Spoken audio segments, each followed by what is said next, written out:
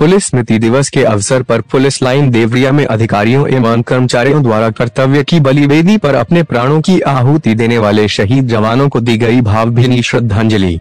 इतनी सी बात हवाओं को बताए रखना, रोशनी होगी चिरागों को जलाए रखना, लहू देकर की है जिसकी हिफाजत हमने, ऐसे तिरंगे को हमेशा अपने दिल में बसाए रखना। ज्ञातव्य है कि जनसेवा का उच्च आदर्श हृदयंगम किए अनेकों पुलिस प्रतिवर्ष।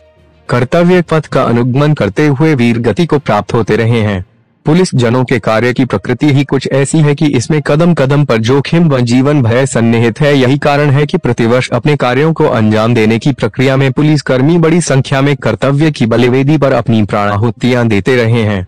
अपने दायित्वों का निर्वहन करते हुए जनसेवा के उच्च आदर्श की प्राप्ति में मर मिटने से भी गुरेज न करने वाले ये पुलिस जन मरकर भी अमर हो जाते हैं। इनकी कीर्ति व यशोगाथा समय के साथ क्षरित नहीं होती, अपितु अविरल अनुप्राणित करती रहती है।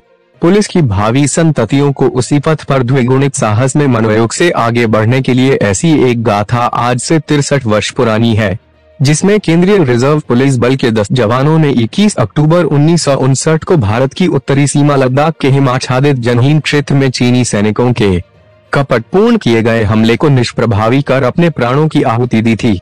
इन वीर शहीद पुलिस जनों की याद में प्रतिवर्ष 21 अक्टूबर को पुलिस स्मृति दिवस के रूप में मनाया जाता है। इसी क्रम में आज पुलिस लाइन जनपद देवरिया में स्थित शहीद स्मारक पर पुलिस अधीक्षक देवरिया संकल्प शर्मा, अपर पुलिस अधीक्षक देवरिया उत्तरी दीपेंद्र नाथ चौधरी, अपर पुलिस अधीक्षक देवरिया दक्षिणी सुनील कुमार सिंह, क्षेत्राधिकारी नगर, संजय कुमार रेड्डी क्षेत्राधिकारी रुद्रपुर अंशुमान श्रीवास्तव, क्षेत्राधिकारी सलेमपुर दीपक कुमार शुक्ल, क्षेत्राधिकारी भाटपा रानी शिव प्रताप सिंह, क्षेत्राधिकारी बरहज आदित्य कुमार गौतम, प्रतिसार निरीक्षक विजय राज सिंह व उपस्थित समस्त अधिकारीगण, कर्मचारीगण द्वारा शहीद पुलिस कर्मियों के सम्मान में पुष्प चक्र व श्रद्धा सुमन अर्पित कर श्रद्धांजलि अर्पित की गई।